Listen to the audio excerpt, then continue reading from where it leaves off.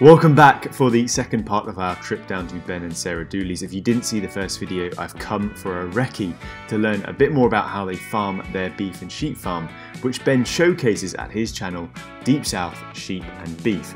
The last video covered our morning when Ben and Sarah were weaning and sorting ewes and lambs. These just need to be turned back out to grass in their new groups. This afternoon, Ben has very kindly offered to take us around the farm and talk farming.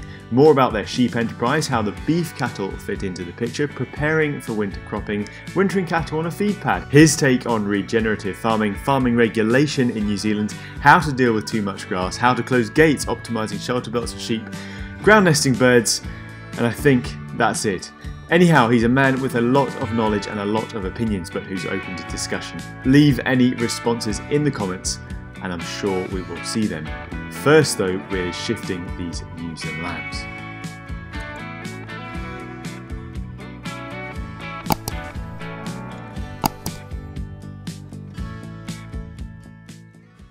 Walla go, Paul! What is that you're shouting, by the way, Bet? Because Walla go. I don't know. It's a It's New just, a, Zealand it's just a term I've heard elsewhere.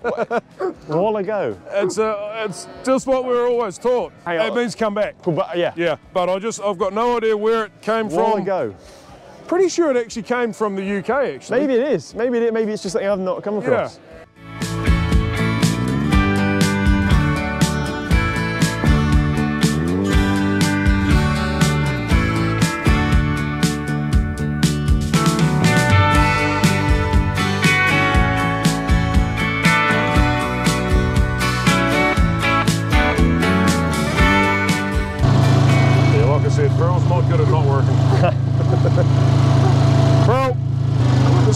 decent looking lambs there. There isn't are. Like these, this little gang in front of us there. there? Yeah. Pearl, I guess they, I, I reckon, would you reckon they'd be in the sort of 34 to 36 maybe Oh, I was watching on the scales. Will I go, Paul? Will I go, Paul?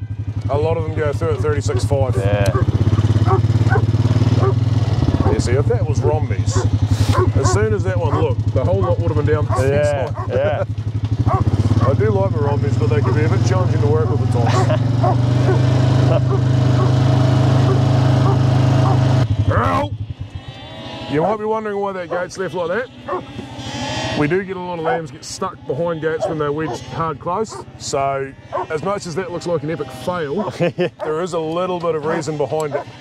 Yeah, exactly. Oh, good marketing. I just forgot to check them this morning. Don't need to go through it. There you go. Outside, outside. Oh, guys. Outside.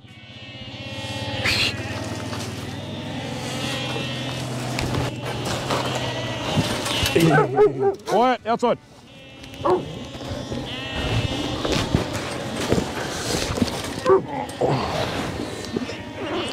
Easy.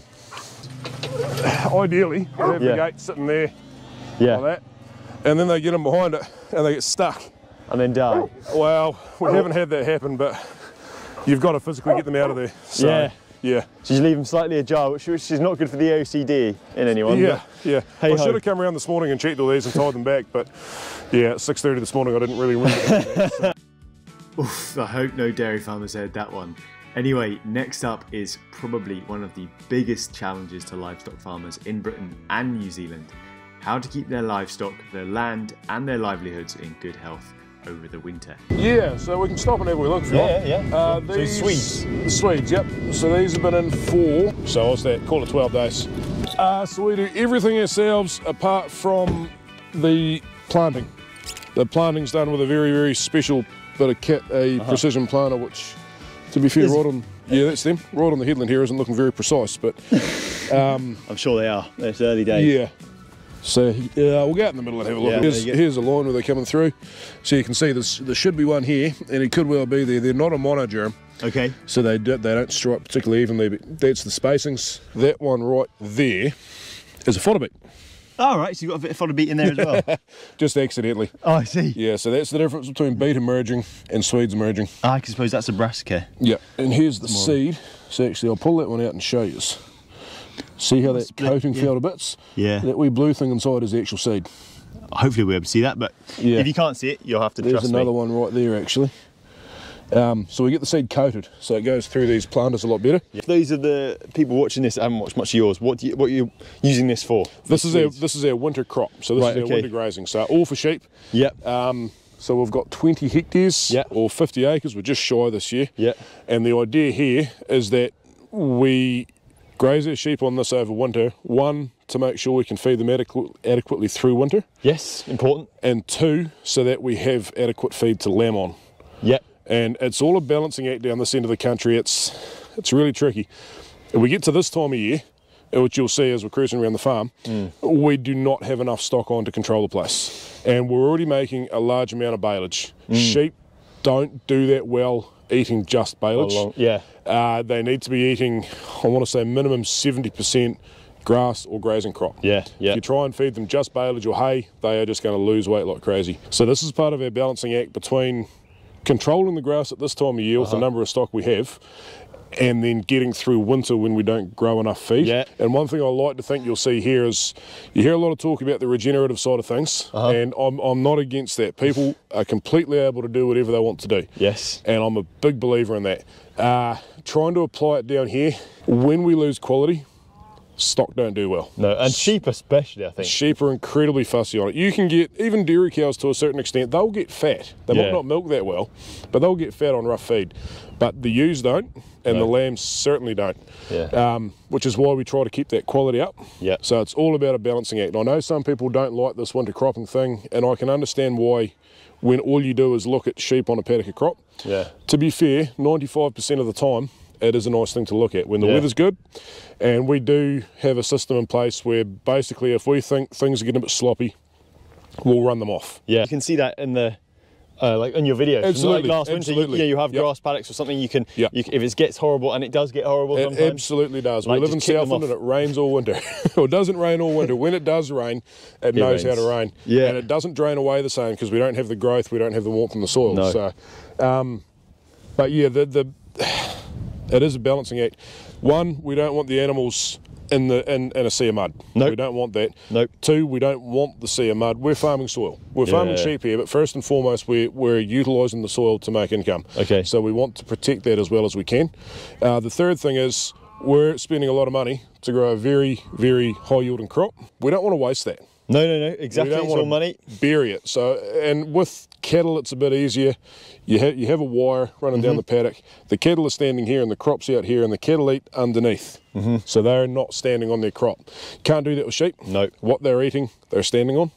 So there's lots of reasons why we do that running off thing. Yes. But welfare definitely is right up there with, with one of the main Absolutely. the big reasons. I know there's a lot of talk about this practice around the place, but my personal view is that we need to do better, and we have done better than we were five years ago.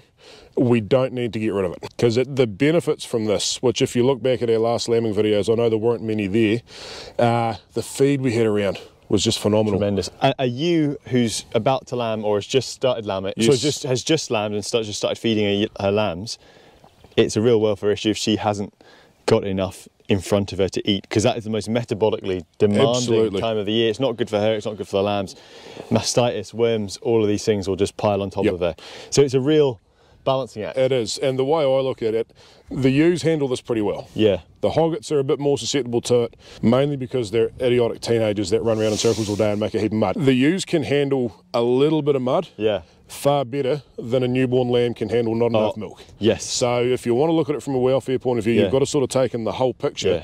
and you've got to sit there and say, if we want the winter cropping gone, are we happy to see massive amounts of dead lambs? And you're not lambing on this, I should, we should say, No, just, no, just in case. no. Like, the technical term, I suppose, is intensive winter grazing. That's the one That's what seen. they call it. We prefer to just say winter grazing. Winter grazing. Yeah. Regardless, it's Yeah. you know this this forage crop that's specifically there for winter. There's not much left normally afterwards, is there? No, That's no. why you have the, the No. siege issues with mud. No one, at least, sh- should be, and very. I can't think of anyone who would do it intentionally. Lamb on that afterwards or carve on it afterwards. Yeah, It's, yep. it's, it'd be a nightmare. Yep. Um, no, no one's wanting to do that. Just for a wee look here, look Yeah. at this fella. Um, we do plough, power harrow. Mm-hmm. Uh, there's a big push for no-till Yeah. at the moment, and I'm certainly not against no-till. Yeah. But I just get a bit concerned that if we all do the one thing, every system has issues. Yeah. So there's there's issues potentially here with sediment runoff. We like to think we do the best we can to control it. Yeah. Um, if we all do this, then the waterways, sediment wise, are not going to be good. If we all go no till, and we all use slug baits. Yeah, And we all use. Well, glyphosate is not really an issue. Oh, I've got to be careful saying that, but to be fair, there's not a lot of residual activity from No. glyphosate. Well, there's no activity. Um, glyphosate is the one I'd say is probably. It's probably one of the, The safest with. safest ag chemicals we have. We haven't used it here. No. Purely on cost. I mean, you can see Yeah. there's a bit of grass around here on the headlands. Yeah. My view on it is that we need a happy medium of everything. Because if we all go no-till farming, then all of a sudden chemical residues are going to become an issue, and then that's going to be frowned upon. Yeah. So if we have a mix of everything, and a lot of guys around here are no-tilling, strip-tilling, whatever, so we're sticking with this in the hope that a combination of different practices will be good for you the know industry. what? If everyone did the same thing, you would be no one to compare to and say, actually, we could do this Yeah. better. Yeah, he's doing Yeah. quite well. She's doing quite well over there. Exactly. Maybe we should give that a go. Yeah, but I just I just get really concerned about regulators when they see something good and they throw everything else out the window and just focus on that one thing. Absolutely. Uh, problem in the UK as well. Sweet Yeah, definitely. So this bit here is locked up for balers currently. Okay. It's not supposed to be. uh, but every year our hogget block gets way out of hand and this year it's been worse. So There's this, no shortage of grass. no. So this paddock's split in three breaks. Yeah. And I'm just pushing the hoggets a bit harder out the back here so I can Yeah. hopefully top afterwards. But Okay. the, I'll get back in my wheel track so I don't flatten too much. um, either side of the middle break is going to be done for baleage Okay. and I just want them to graze that bit out the back hard enough so I can hopefully top it. But I don't like my chances. They're coming out of there tomorrow regardless. Okay, so those, those are your hoggets over there? Yeah, yeah. They're looking pretty good this year, but I'm just hoping we don't have to put too much feed pressure on them to keep them looking good. And you're saying you don't lamb your hoggets? No, Here? no. No, you're not. Uh, never say never, No. but it's as as close as you're going to get here. I'm not a fan of the practice with Romneys. Uh, it just gives you so many more options.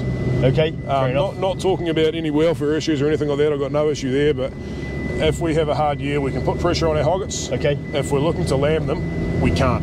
Okay. Um, normally, when you have a hard summer, it's followed by a time that gives you options to get weight on your hoggets before their mating is two-tooths. Yep. So if you have to push them a little bit, you can do that. So does it give you some flex? It gives us a lot more flexibility. And yeah, this here's the next bit that's locked up for baleage. I'll It is probably driving over here, but yeah. I think you need more sheep. But that goes back to what we were saying actually about about your. There's this big pinch point during the winter, Yeah. and it would be even worse if you couldn't grow those. those crops. Crops. And this is absolute peak growth right now. Grass is too long to open the gates.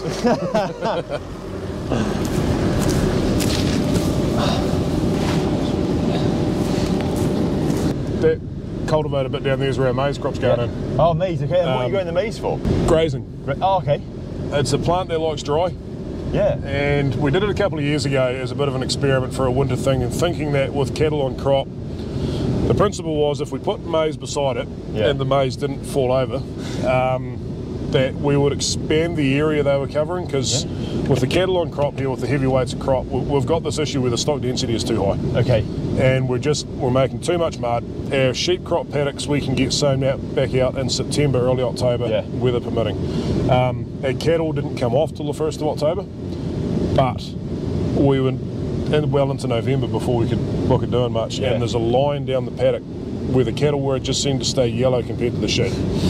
So it's costing us more to do what we're doing now, but I think long term it's going to be better. But the idea was if we gave them more area, the stock density would reduce. Okay. And obviously the maize was going to be cheaper to grow than it was to feed the baleage out. Fair enough. I Okay. Had this great idea that maybe if we planted it late and it stayed green, then it wouldn't fall over. You're grazing it as like a standing crop almost. Besides, uh, it was planted beside the swedes. Okay. Yeah. Yeah. Yep. Okay. Um, principle was, yeah, that if we planted it late, the frost wouldn't affect it so much.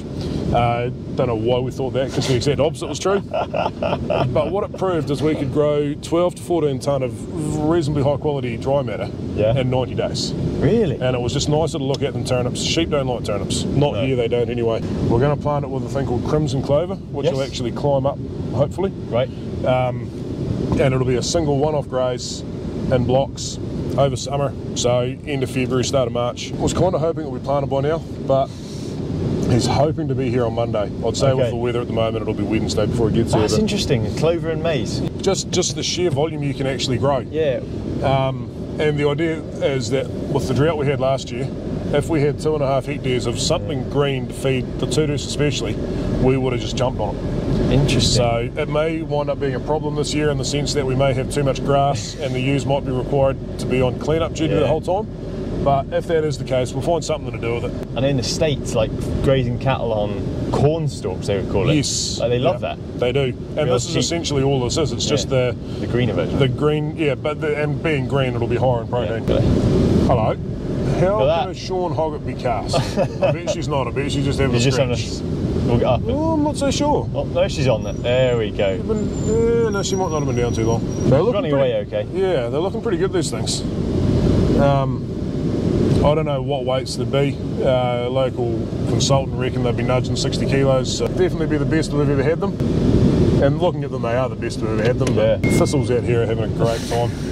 Everything's having a great time. We're not a huge place, like it's 250 hectares, which by New Zealand standards for sheep and beef is not big. But I'd say it, you could grow a lot of grass for a beef and sheep Yes. farm. Yeah. And you've got to be a little bit careful with the amount of grass we've got now. This is not normal.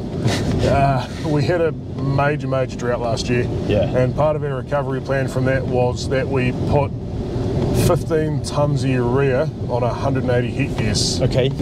Ah, what's the term? It's strategic, not systemic use. And I'm completely of the opinion, like when it comes to lambs and fattening cattle, I'm not going to feed them a maintenance ration. If they are here and I have the option to, they're going to get fed a fattening ration. Trying to feed lambs a maintenance ration is near on impossible anyway. Um, they keep growing frame, so if you feed them the maintenance, they're not going to keep condition. No. And then you just wind up in a real bad spot. So just skinny big lambs. yeah, exactly. Which are great for a store buyer, Yeah. not so great for a store seller. No. what sort of stock numbers are you running here? So we're running, it, it, it's changed a bit year to year the last few years, Yeah. but between 2200 and 2450 ewes. Okay. We're going to settle somewhere between 2300 and 2350, I think. Okay. Um, we used to run 2450, and then we introduced 50 cattle into the mix, which we buy as young calves. Okay. Four day old calves, and we rear and take through to finishing at 18 months. And they're like dairy crosses, presumably, if you're buying them at age. all, all dairy beef, yeah. Yeah. Uh, so dairy beef. So they're, they're um, a Friesian cross with a, a Hereford, or Yeah. a, we've got some Belgian blues at the moment. Got some Charolais last year, which are still here. As they're, they're going to be killed this March. Okay. They've done really well. And Angus, to call it 2,300 ewes. Uh, lambing at an average of 140-ish percent, Yeah. which were 142, 141, 142 this year. And is that tailing? Is that tailing? That's, that's so that's ewes mated, okay. two lambs tailed. Yeah. Okay, yeah. And then so that losses- includes all your barrens That's everything. and your Yeah. wet dries. Yeah, Yeah. It's, it's the only lambing percentage that actually counts. The ones you get paid for, basically. exactly, and even the tailing's not completely representative because you do have some losses after tailing, but we're normally around that one and a half percent. So survival to sale is the big one, and on that our average would be around that one thirty nine percent. Um, so you'll, you'll often hear figures of 180, 190% thrown around. Some people do genuinely achieve that, Yeah. and I take my hat off to them. They've done amazingly well. But normally, what you're hearing there is a through the pennant tailing percentage. So no dries, no death rate factored in, Yeah. no wet dries factored in. Um, yeah, it's a bit of pub talk, really. And how much permanent pasture do you have versus like plat? How much do you renew? We're 250 hectares. There's about 50 hectares that will never cultivate, regardless of Okay. what regulation says. I mean, we've got these banks and stuff along Yeah. here. We'll go as extreme as we feel we can without losing soil. So we put it around 200 hectares we can cultivate, Okay. and we do 20 hectares a year into swedes. We're sort of in a bit of a horrible phase at the moment. We'd love to cut our winter crop back to 16 hectares Okay. but we don't know whether that's going to work or not. But with all this regulation coming in, we're very scared of a thing called grandparenting happening, Okay. And what's what's that? which is you've done this much for so long, so that's all you can do in the future. So you want to maintain that if that comes in. Yeah, I just think for, for flexibility in the future, you might want to maintain that. that's right. So if, if we do that for a couple of years and decide we don't want to do it, Yeah. and then that two years of 16 hectares is in the period where they select the five, say a five-year average, then all of a sudden we're we're cut short on what we can plant. Yeah. Um, and I'd love for this to just all be finished, but they keep putting stupid stuff in it and we keep having to fight it. So, yeah, it, it becomes a nightmare. And this is the problem with the regulation they're proposing. Farmers always want to do what's right, Yeah. generally, and, and do the best thing, but we take a far more holistic view of it and we factor more stuff in, whereas they're focusing on, on one single matter and they're targeting that, and we're sitting there going, okay, how do we work around this? Because it's just in our nature, it's what we do. But that's that's enough on regulation. That- yeah, yeah. Uh, getting back to the sheep, all your all your ewes are Romneys, aren't they? Pure Yes, Romneys. that's right. And you have sort of like a, it, some farms call it an A and a B flock, right? So- Yeah, we do. So we, we have a system where all of our two-tooths start off Yeah. as a maternal ewe, Yeah. but they all go to a terminal ram Okay. because we just find the terminals do better out of them. Okay. Uh, so the four tooth, which is a three year old, so they're second lambing, they're the first year we'll keep replacements from. okay. And the basic setup, it- it's basically a two strike policy. One strike, they get a yellow tag in their ear. Yes. Um, now that might be having an assisted lambing. Yeah. That might be having to have a lamb mothered onto them, be it their own or something else. But yeah, lots of different things factor into that, and it depends on the season as to how aggressive you get in that. You get a snowstorm at lambing, you might not be so hard on your Yes, on your two. fair enough. Yeah. Uh, you have a beautiful lambing the whole way through, and there's no issues. Then everything that doesn't rear its own lamb is going to get um, sent to the works basically, all based around lambing time. Mm. So the rest of the year doesn't really matter. Yeah, this little shelter here is one that we haven't planted out yet. All right. So there's we- a shelter belt to go in. Yeah, we put the posts in and then we tried to get the trees, and the trees we wanted they didn't have. so we put a couple of ewes with their lambs in there for a few weeks and just opened the gate the other day to let them back out. Out, out of interest, what are the trees you want? Leylandis or macrocarpa for Okay. here. Okay. We're going to put a mix in all around the place. So some will be natives. uh, we've got one just at the other end of the Swede paddock here that's Yeah. actually in um, poplars. Okay. It's on a boundary fence, so we didn't want anything that was going to hang over. Macrocarpa potentially could cause abortion issues, and Leylandis, are, well, the green Leylandis are a half macrocarpa apparently, so there's issues there. So, but that one there is going to be max because we want big trees that are going to let air flow through, Okay. but slow it down which the idea is it stops them camping underneath. What happens with a hedge, you've got a short hedgerow, they, they go in underneath and then it just turns to mud in the middle of lambing. You get a whole lot of sheep there lambing, they get mixed up, they get confused. I don't want to be able to notice much difference standing at the shelter belt. Okay. I want to be able to walk a 50 or 100 metres out in the paddock and feel that the edge has been taken off. Interesting. Fine tuning these things. Yeah, trying to slow the air movement uh, as opposed to trying to stop it. Okay. Yeah. Over the fence here we've got the two-tooths. So they've all gone to a Poll Dorset ram. Yeah, so that's your other terminal. So we Yes. look, we're, still, we were looking at the Southdown earlier. Yeah. I would say on average these are looking a lot better than the Southdowns. So Okay. these, these are and this this mob we're in here is actually all, all the triplets. All these lambs were born as triplets and they're treated pretty well. Yeah. They're lambed on like 2,000 cover at a very low stocking rate. They get babied. It's not efficient, but what we've noticed since we started doing it is we don't get the ewe wastage. Okay. We don't feed the ewes as well as we used to over winter because we used to get right into feeding them heaps of nuts, and these things would be massive. And we'd bring them in the yards to give them their pre-lamb vaccine and drench, Yeah. and we'd let them out. They've been in the yards 45 minutes, and they'd start falling over, milk fever. They're getting all the grass they can eat. Yeah. Uh, we did put them back on Swedes for a couple of weeks this year after scanning, and that worked really well. But basically, for the for the whole last six weeks of, gest- of gestation, they're ad lib fed on grass and clover, but no extras. The extras just seem to, to make them fall over a bit, and then we lamb them on a huge amount of feed. Because they've always been on a huge amount of feed, you don't get the prolapses to the same level, um, and they don't. You don't get the milk fever issues going the other way if you take them off heaps of feed and spread them out on not enough. And the lambs have done pretty bloody well. I would say so. Yeah. I'd be pretty pleased with them if they're mine anyway. Definitely. Uh, the Southdowns we're looking at before, those are our worst ewes. Yes, yeah. Our yeah, worst yeah. ewes are in there, and some of them are only at the same age as these guys. Yeah. So Yeah. to compare, Maybe not a the- fair, maybe not a fair comparison. We're not we're not comparing breed side by side. I think the Southdowns have actually done better this year than the Polies did in the same situation last year. Yeah, Ben was just saying, you know, if, if any of you guys have weaned lambs or seen weaned lambs, they often get they're upset. You know, They, 'cause they stress. this is probably the, has the potential to be the most stress, apart from perhaps being born, Yep. probably the most stressful day of their life. So anything you can do to manage that better can only be a good thing, right? Absolutely. Yeah. So, so if you look, these are the lambs we had going through the pens earlier. These are the, the smaller ones, aren't they? yes, these are the ones that aren't go of the works. So they've been they've been weaned, and you can. I think all the sounds coming from that end. Yeah, there's, that there's, a, the there's a couple up here in this corner that are bleating Yeah. out, but they're just sitting down, they're eating, they're just, they seem very relaxed. Yeah, and I, And- I think having certainly there are farmers at home who, who are adamant that when you wean lambs, you should, if you can, take the ewes away from the lambs. And put the lambs back where they were. Exactly. It's an interesting concept. I'd never actually thought of that. But we have noticed the last four or five years at weaning, we're not seeing the check. Yeah. Uh, when, I, when I say that, like obviously you, don't seeing you, the check. You don't, yeah, you don't you don't see it in the lamb so much, but we know what used to cause the check. Yeah. Was that for a week after weaning, we'd get them in this paddock on the hill up here, yeah. and they'd There. go and camp back in that gateway, and they would stand there for days and bleat. and they're not eating. They're unhappy. Yep. They're stressed out. Exactly. They just they're in a really bad place. Whereas I'm looking around this paddock right now, and this is the most relaxed I've ever seen them. Awesome. So- you must be doing something right. yeah, I mean, imagine being taken away from your parents at, Yeah. uh, I guess in human like terms, boarding say school. 10 years old. Yeah. And yeah, but at least with that, you, you're told what's happening. These guys have got no understanding of it, and yet they're just Just happily days. You see Yeah. all that. they're just away. Most of them sitting down, grazing. Yeah, I've Yep. been to. There's a few perhaps Yep. a bit, a bit perturbed, maybe up there in the corner, but vast majority of them either eating or sat down during the cud. Oh, I would say in a couple of days they'll have forgotten all about it too. Yeah.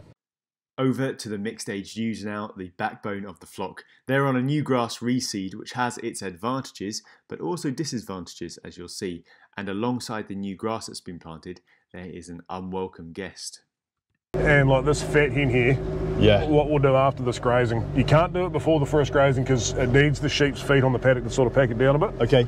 on these hills, especially when it's a bit wet. Um, we will fold the covers up on the mowers and mow it at sort of 10, 12 k's an hour. And then we'll put a little bit of DAP on the paddock for a bit Okay. of nitrogen and capital fruit. And you will almost never see them again. You might have to do that once more. Um, and then the weeds are gone. Fat hen is a problem because fat hen seeds from the minute it starts grazing. Okay. But it is one in the future that is easy enough to take out if we If you need to. yeah, we. This is probably the worst we've seen fat hen in areas like this, Yeah. but it's only in a few small areas. So next time we put this in Swedes, which will hopefully be 10 years away, we will see what the fat hen's like in the Swedes. Yeah. If we think it's a problem, we'll spray for it. Let's call it regenerative. yeah. Multi-species yeah. sward. Hey, look, the regen thing. I'm, I'm anti-regulators talking about it as I'm anti-regulators with everything because Yeah. they just get so much wrong. Yeah. My personal view is that actually a lot of New Zealand agriculture is pretty close to regen. Okay. Uh, you see this miss out here? Yeah. That's one of my pet projects. That was where an oyster catcher nest was. The miss further over, I'm going to claim it was a trial. Yeah. Apparently, you do need seed to get grass to strike. um, but yeah, that one there was an oyster catcher nest. I could have got closer to it, but they were pretty close to hatching, and Yeah. uh, well, they did hatch three days later. Um, Fantastic. Rather than rolling them over with. yeah. The little plovers. I hate plovers. They're they're an imported or they're self-imported. They don't get the same treatment, and they also dive bomb your tractor, and they've got a little hook in the end of the wing. Is that right? Yeah, but the oyster catchers are native. Yeah, so every young grass paddock seems to get a miss in it from an oyster catcher nest. native species, ewe've got to look after these things. Yeah. It's like the paradise ducks. As much as we hate ducks, paradise ducks are native and they're not in big numbers here. Yeah. So we do have a habit of leaving them alone. The mallards are a different story. I was going to shoot back up here because Yeah. I thought I might have seen a cast you up here, but. See, that fat hen looks bad, but if you come back in six weeks' time, Yeah. you won't see it. Combination the sheep will graze it. You got to put a bit of pressure on them to do it, but yeah, mainly the mowing. And notice how it's worse up on top of the knob here. Yes. I don't know whether that's because they camp here or whether because something's ripped in a bit deeper in cultivation or what it is, but Uh, yeah. Who knows where Yeah. the seed bank was or. yeah, you can just see throughout the paddock. There's the odd, there's patches of it, but a lot of the paddock is pretty clean. Yeah. So Odd that. yeah, not an issue at this stage, but moving forward, if it becomes an issue, we will just have to adopt spraying.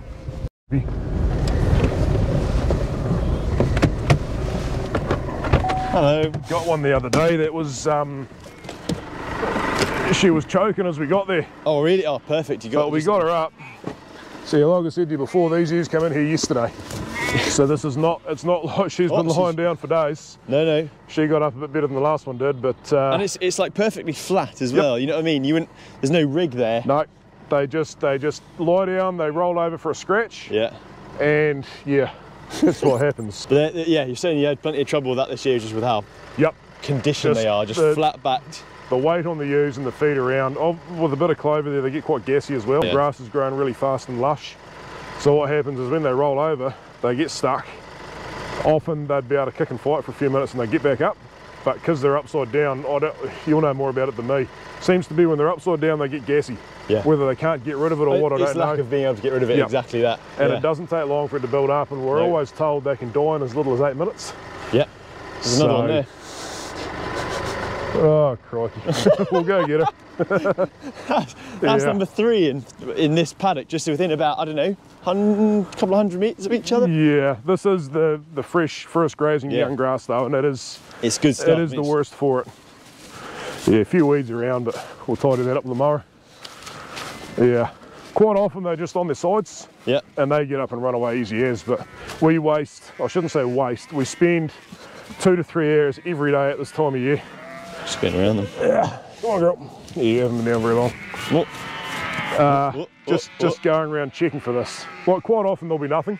yeah, But the argument is if you leave it for two days, you might wind up going around picking up dead sheep. dead ones. Yeah, And- exactly. A, they're worth a lot of money, and B, I don't really like the idea of a sheep lying on its back choking to death. You can sort of see they're a lot more consistent in size, like there's big ones and little ones, but compared to that early lambing mob, because there was such a variation in age in that Yeah. this year, um, they are more consistent. Yeah. These guys have got three weeks to go to weaning, so we'll get a few out of here. There's 1,600 of these, including the Southdowns that we weaned this morning, that's Yeah, right. yeah. So yeah, 1,300 of these in total. We had 3150 odd lambs for the year, 31, so 50. yeah. Yes, Um, plenty to keep you busy. systems in place to make it easy. I mean, like I say, we're a pretty small scale place. I did used to work on a farm that had 42,000 ewes, a thousand breeding In New. Zealand? In New Zealand, only 100 k's away. Uh, three and a half thousand hinds as well. But it was 170,000 acres. Different so scale. This is like a smallholding. This By is- comparison. this is- lifestyle block. Sorry, This that's is a Kiwi- hobby farm, yeah. Hobby farm. Yeah. But you can see just so this is first year grass, isn't it? First Yep. grazing. So this was Look sown in September, end of September. And like I say, there's a few weeds, a bit of nettle there. Yeah, but definitely. this stuff, fat hen, horrible stuff, but easy to deal to. Yeah. Mower does it, sheep do it. Worst case scenario, we spray, but um, yeah, it's it hasn't really tilled out much yet because it's first grazing. Okay. And that means when you say tiller, that's So like if we look at these grass plants, yeah, each, so that's one plant. Mm-hmm. Each leaf's a tiller. So we try to get as many of those as possible from each plant, and that reduces this. So in Yeah. sheep in sheep ground, we don't like seeing bare dirt. Mm-hmm. Uh, dairy's different. Dairy wants a, a grass plant that grows up, and Okay. they get the yield out of it. yeah, but they get weed issues. But they're going to get that anyway because of the just the nature of dairy yeah, farming. yeah.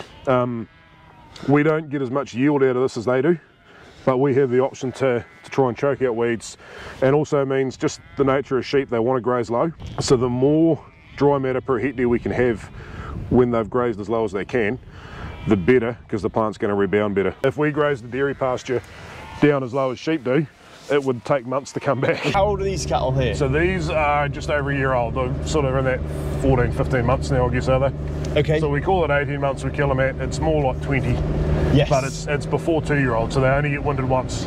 between a year and a half and, and two years old. Basically. Yeah, that's when they get killed. So I see some Charlies there anyway. Yep. So I mean, the Anguses are the ones that tend to fatten up the best. You will see one Angus in there with horns. Obviously not an Angus. Uh, there might even be two of them. But yeah, I'm considering they're they get grain as calves in the form Okay. of the calf pellets. Yep. but that's only in getting their guts ready for grass. Yeah. So they're not- that rumen. Yeah, they're not 100% grass fed, but beyond that sort of three months of age, they're 100% grass fed. And when you send them to the works at 18, 20 months, what sort of weight specs are you achieving? So these are our lever that we can pull. yeah. So we, we try to keep the lambs doing as well as we can. Uh, and take them as far as we can. Mm-hmm. The workspace here in New Zealand, once you get to the end of March, just disappears because the dairy cull comes on. Okay. We know that's coming, so there's no point grizzling about that. It's the way it is. We were open to starting killing these things in February. Yeah. Um, there'll be some of the bigger ones will go, and I mean we've always got a goal in the back of our head of about 270. I don't think Yeah. we've ever hit it, but like I say, these are a lever that we pull, so we can quit these. We can sell them store. Yeah. We can um, kill them at lower weights. We'll offload these Yeah. and focus on trying to hold lambs because we know we can get lamb space through April, May quite Yeah. comfortably. Again, flexing that stock numbers a bit like your hoggets. Exactly. Just gives you a bit more flex and, and, and also, I suppose, you know, maintaining quality of grazing and things like that. Yeah. Maintain your par- yeah, parasite burdens. And and we don't have a yeah the the the parasite thing is definitely something here. Yeah. But the bigger one for us that we or the big one that we don't have is the pasture control side of things. Like Okay. we need to keep feeding these things to keep them doing because at any point we can sell them, and the heavier they are, the more they're worth. So yeah, it becomes a bit of a uh, well, we don't we don't get that thing you get when you've got beef cows having calves because Yeah, you can okay. really push them like they live on the smell of an oily rag and they rear a calf while doing it and So they're get growing cattle, they're a bit more demanding. Dead right. The beef cow thing is just awesome. We'd love to have beef cows here. I'd love to go down to 2,000 ewes and run, say, 80 or 100 cows, but the wintering thing here is just too much of an issue. Just kill you. We can winter one type, one uh, one Yeah. group of cattle in the pad. If you put try and put three age groups up there, that's not going to work No. because obviously you've got the cow, you've got the calf, and then you've got the the yearlings as well. Yes. Yeah, it's just Um, a mess. Be a mess yeah, quickly anyway. you'd, you'd need three setups, and that just it, it's just not a practical setup. Ben said earlier he's gotten away from wintering cattle on a forage crop like fodder beet or Swedes, which is pretty standard practice here. So, what does he do with them over the winter instead? He keeps them here. There's a few, oh, there's a couple of pine trees in there that were planted to replace ones that had fallen down, and we are actually going to replant another one out there Okay. because this isn't going to last forever. Right, so we, we're just coming to the to the end because my GoPro's starting to run out of battery, and, and, and Ben's probably got better things to do with his time. But we're essentially at Ben's cattle shed. Yeah, probably be the term for it, right? And you can see photos of this in action on his channel if you go and have a some of his winter videos. But this is what you, a feed pad. feed, it's, pad. it's a form of feed pad, yeah. Yeah. Yeah, so you will have to excuse the mess here. This was done a little bit makeshiftly because we were supposed to have a digger here in February Yeah. and it turned up in June. the cattle were already up here. So how many cattle do you keep on here, and of what Uh, stock class? 50 rising one year olds. Okay. So Yep. they, they go on in May, they're not a year old at that stage, and they come off in end of September Okay. when they're just over a year old. This whole area here is rocked, and basically what I've got to do is all this feed, I've got to remove it, and we are going to try and put it through a muck spreader. So you come out here with a digger, load it into the muck spreader. Yeah, I'll probably just use the I like your forks on the brushes. yeah, that was my wife's contribution. uh, she said they had to be done, so, and they do use them. So this area here isn't, so look, the rock sort of ends here. yeah. and this is like that's where a bale feeder was the previous year when we had just 20 cattle up here. Yeah. They don't seem to make much mud up here. We're right on top of the hill, so there's no catchment coming in here at all. Yeah. Yeah, they're pretty simple, just a bit of box section. all they are is the brush off a sweep truck. Is that right? So they just got a square thing inside, slide it over there, weld that on top. They, um, use it. the whole side over there, they'll never sink in. And what you'll find is you'll come up here, they'll go up there, they'll eat, they'll drink, Yeah. they'll come back over here and they'll camp. They'll be like their dry lie. Yeah. So this over behind us here, they've got the strip over here Yeah, as well. yeah. And because of the way the trees are and all the bark off the trees and stuff over the years, they they don't make any mud over there at all. Awesome. So there's areas that are muddy and it always looks bad where they feed, Yeah. but it's not as bad as it looks. It's raised up on a lot of rock. We are going to try and improve. We are going to improve on that a lot this year. Um, the wastage out of these ring feeders was huge. We probably wasted 20% of the feed. That thing there, if I was only putting one bale Yeah. up, we're probably wasting two or three percent. To be fair, twenty percent is probably not far. If you were doing, you know, the trendy thing and and feeding out on pasture and rolling bales, Yeah, you'd probably yeah. be wasting twenty percent, right? I would say you'd be wasting all of that. Um, but in this area here, the idea is that we want the nutrients going to the animal, not the ground, because this isn't an area Yeah. that we want to try and regenerate, so to speak. yeah, yeah. Um, so we're going to get another couple of those. And we'll just, it'll wind up being, it'll start off every three days we come up, so Yeah. three bales for three days, and then as we get through and they start eating more, it'll be three bales for two days. Okay. And they'll they'll be pretty good at letting me know when that is. It'll be um, be able to hear them from home. I imagine. well, just quite simply, they're, they're ad lib fed. Yeah, they've got a good view as well. Yeah. Dinner, dinner Yeah. and a view. um, it's an interesting spot. This, like, I've, never, I've never seen anything quite like it. It's it's a different way to do it. There's still mud here, no doubt, Yeah, but they've always got dry areas to camp. yeah, and I just, I just, I like getting them off the paddocks. I'm not against winter cropping with cattle, but we were just seeing things in our operation that we couldn't seem to mitigate. okay.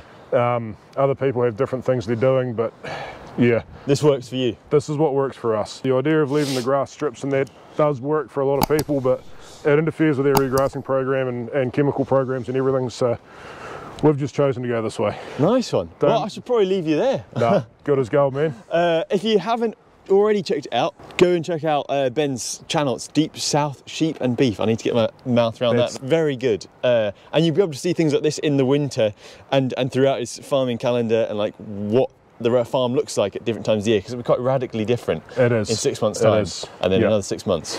It's just sort of showing what we're doing throughout the year, Yeah. and probably a little bit too much, but an explanation of why we do what we do. And it just gives you another perspective on how people do things, which I think can only be a good thing. Exactly.